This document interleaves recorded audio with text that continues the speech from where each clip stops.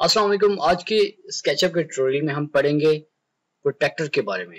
तो सबसे पहले हम स्केचअप को ओपन कर लेते हैं और प्रोटेक्टर जो है, वो मेज़रमेंट डिफरेंट एंगल से मेज़रमेंट अगर करनी हो तो वो बहुत ज़्यादा सूटेबल है।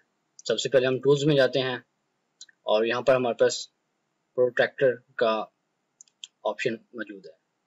हम सिलेक्ट कर लिया इसको और सिंपल आप यहाँ पर हमारे पास ग्रीन एक्सेस है और यहाँ पर रेड और ये देखें। इसका जो टॉप है, उसके ऊपर ब्लू हम ग्रीन में आ जाते हैं और यहाँ पर हमने माउस का लेफ़्ट क्लिक किया। हमने रेड एक्सेस पे इसको स्नैप किया। यहाँ पे किया और अब देखिए। हमने इस एंगल के ऊपर एक लाइन ड्रा की है। 53.6 एंगल है। ये हमने इसको सिलेक्ट कर दिया और अब इसको हम लाइन टू लेते हैं। लाइन टूल से हम इसको यहाँ पर इसकी एक लाइन लगा दी और एक पॉइंट हमने यहाँ पे इसका लगाया और दूसरा पॉइंट यहाँ पर।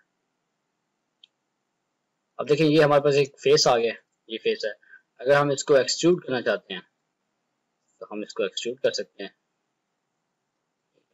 हम इसको एक्सट्रूड करके कोई भी शेप बना सकते हैं, अपनी मर्ज़ी की। और अगर आप स्टेज बना रहे हैं या कुछ ऐसी बिल्डिंग्स बना रहे हैं जिसके ऊपर आपको डिफरेंट एंगल से लाइंस लगानी है तो प्रोटेक्टर टूल बहुत ही कारामंद साबित हो सकता है। इसी तरह अगर आप चाहते हैं कि ये हमारे पास एक घर सा बना हुआ है और ये रूम है, अगर हम चाहते हैं, पहले हम इसको अनग्रुप कर देते हैं, ये ग्रुप में है।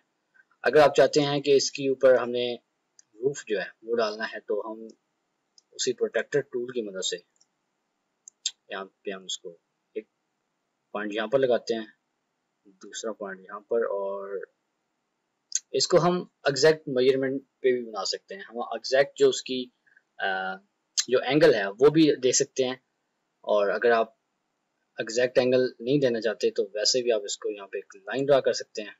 सिंपल सा अभी मैं आप जस्ट आपको एक समझाने के लिए बता रहा हूँ और एक और हम यहाँ पे लाइन लगा लेते हैं।